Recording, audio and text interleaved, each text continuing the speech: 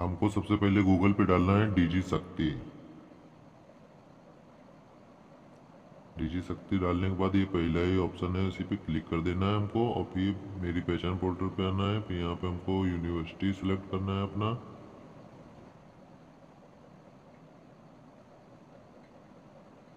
फिर अपने कॉलेज का नाम डाल देंगे हम।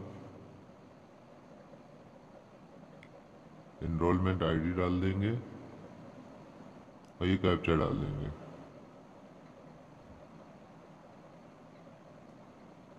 और सर्च पे क्लिक कर देंगे।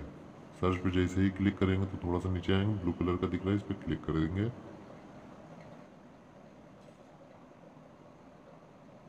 क्लिक करने के बाद इसमें नीचे आएँगे न्यू यूज़र इस पर क्लिक कर देना है हमको, और यहाँ पे अपना मोबाइल नंबर डालेंगे।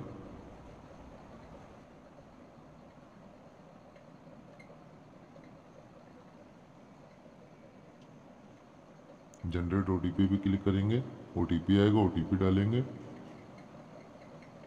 और नाम लिखेंगे यहाँ पे। और जेंडर सेलेक्ट करना है। डेट ऑफ़ बर्थ डालेंगे।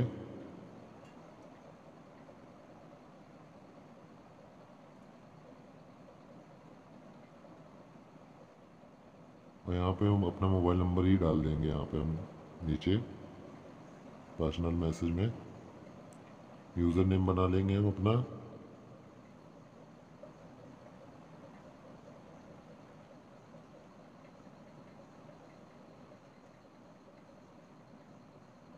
पासवर्ड बना लेते हैं हम।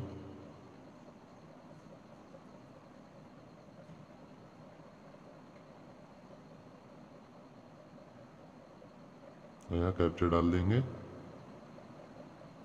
क्लिक करेंगे और ये एक्सेप्ट करेंगे। फिर साइन अप पे क्लिक करेंगे। और यहाँ पे आधार नंबर डालेंगे।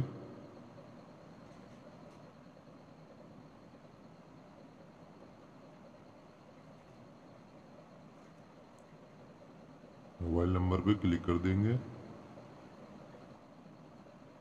यहाँ नीचे आई एग्री करेंगे और यहाँ पे कैप्चा भर के इधर आ जाएँगे, फिर ओ आएगा। वेरीफाई करेंगे। फिर एक और ओ आएगा, उसको डालेंगे।